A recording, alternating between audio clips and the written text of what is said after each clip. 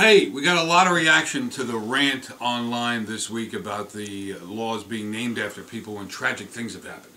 And of course, I was animated and jumping out of my car like a road rage incident, being outrageous to make a point at how outrageous these laws are. We're passing more and more laws every week, every month, every year that have unintended consequences and are not necessary and are based purely on emotion.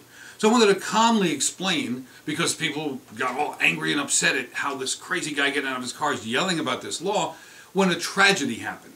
Well, I would feel the same way if the tragedy happened to me. If it was my daughter who were paralyzed in a car accident, I would probably feel the same way if I wasn't informed of how these laws can have horrible unintended consequences. I would want to beat the guy up who caused the accident. I would maybe want to be honored in some way or at least have something good come of this tragedy and have the law. I understand the father's emotion. I understand the family's emotion. What I don't understand is that we don't think beyond the surface on these things. We only think with our emotions and we pass laws and make big, powerful decisions based purely on emotions. Now, if he had gone to the local legislator, one of the people who wrote this bill, and said, listen, I had this tragedy, we don't want this to happen again, he could have used his influence to come in here to the radio station, which is in his district, and said, listen, could I have the father of this child, or this child, this, this young girl, this young woman, uh, record a public service announcement or do an hour on your show to tell people just let it go if somebody cuts you off on the road. Just let it go if you have a traffic problem so you don't get into a fight because you'll never see that person again on the road. Just let it go. We'll have a whole campaign called Just Let It Go. Would you do it? I'd be happy to do it. I'd be happy to record the PSA. I'd be happy to have the people who were victimized in the accident to bring awareness. We have a million people that listen to our radio station every day. You know how much awareness that would bring? But no, let's be self aggrandizing as legislators and pass a law that will have horrible unintended consequences, and I'll get to that, but will make me look like a big deal because I passed this new law.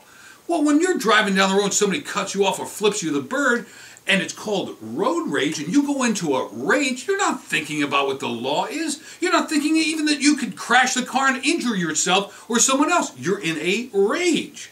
But if you hear a, a, conversation with a person who's been injured or their father or, or somebody you listen to on the radio say, listen, just calm down. Somebody cuts you off, doesn't matter. You never see that person again. Let it go. That would be more effective than a law that nobody's going to pay attention to when they're driving and, and losing control of their emotions. And with the, the, this guy who caused the accident spent four months in jail. They want to make this five years in jail. Well, the lifetime of guilt this kid's going to feel, this guy's going to feel, is far greater than the four months he spent in jail.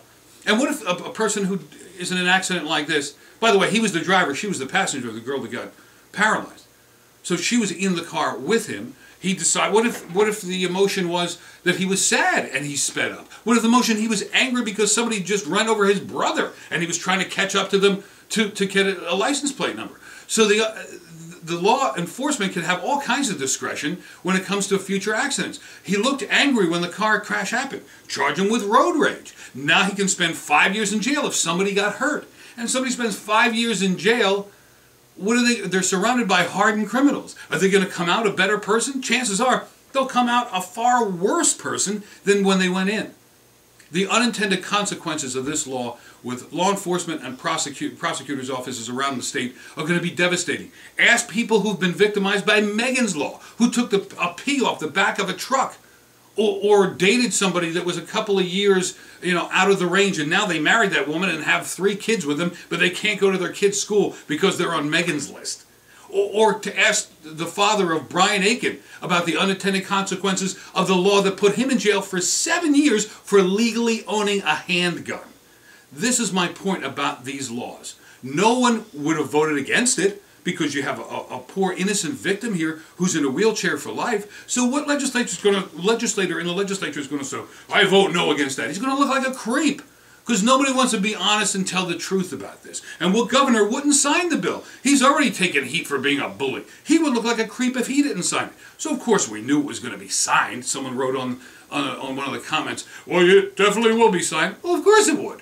Who's going to stand up and tell the truth and say these laws, as emotional as we feel about these subjects, might feel good and might feel like it's doing something good, have horrible unintended consequences? It's like the wife saying to you, do I look fat in this dress? And you want to say, yeah, a little bit.